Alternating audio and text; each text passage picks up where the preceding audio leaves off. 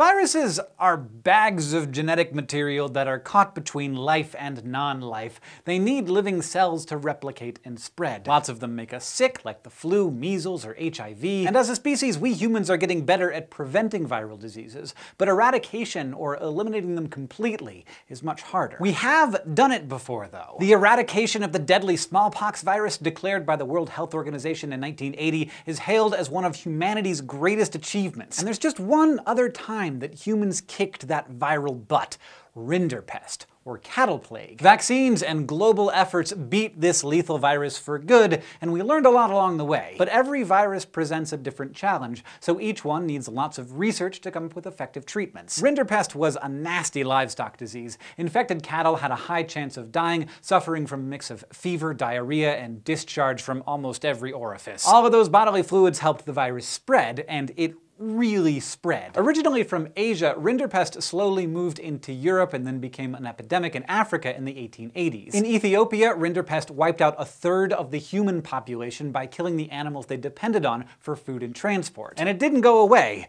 Rinderpest caused devastation across these three continents and fear everywhere else. Quarantine and basic hygiene strategies helped a little, but what we needed was a vaccine, a little dose of weakened virus to train cattle immune systems to recognize and and attack the enemy. An early vaccine from the 1920s used a technique called serial passage, making a weakened form of rinderpest by growing the virus in multiple animals or cells in a lab. In this case, the scientist J.T. Edwards infected a different species so that the virus evolved to suit goats rather than cattle. If you then put this modified virus back into a cow, the cow's immune system can safely fight it and build up anti-rinderpest antibodies in case the normal virus comes along. But this method takes a long time, and researchers had to look after a whole herd herd of goats, which isn't practical for mass vaccination. Plus, sometimes the virus would partially revert back to its original form and still cause disease. By the 1950s, we knew how to grow cells in petri dishes, a technique known as tissue culture. Using time, luck, and serial passage in lab-grown calf kidney cells, vet scientist Walter Plowright developed a new rinderpest vaccine riddled with a bunch of weakening mutations. And, best part, no goats necessary. It worked more reliably, and rinderpest infection rates plummeted in the next next few decades. But without a cooperative global effort, bouts of rinderpest kept popping back up. It was like deadly whack-a-mole for cows. So in 1994, the Global Rinderpest Eradication Program was launched. Its mission to target rinderpest's major outposts, then destroy it completely. The program's success depended on science and society at local and international levels. Researchers studied how the virus worked and spread and used mathematical models for more strategic vaccination rather than trying to vaccinate as many cattle as possible. Animals were injected with a new heat-stable form of the vaccine, which didn't need to stay refrigerated. Outside the lab, local farmers were really involved in educating people about rinderpest. They made up a surveillance network to look out for new resurgences of the disease or confirm healthy areas. And in 2011, 10 years after the last recorded case, rinderpest was officially declared eradicated,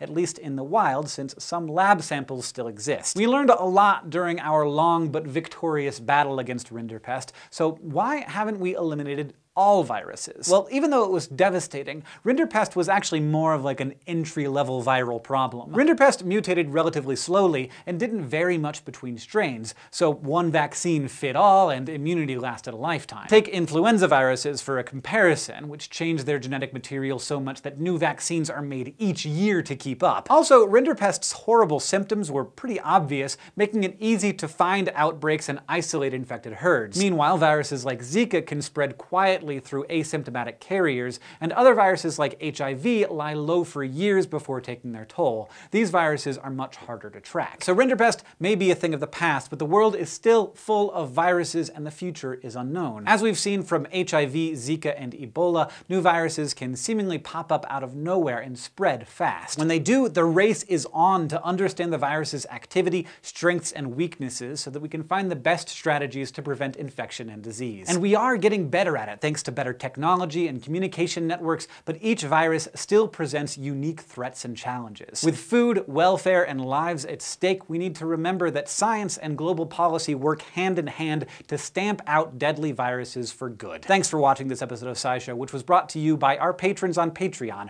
If you want to help support this show, you can go to patreon.com slash scishow, and don't forget to go to youtube.com slash scishow and subscribe. Parasites enter the human body through the salivary gland of a mosquito. They mature in the liver and then hijack our red blood cells and divide.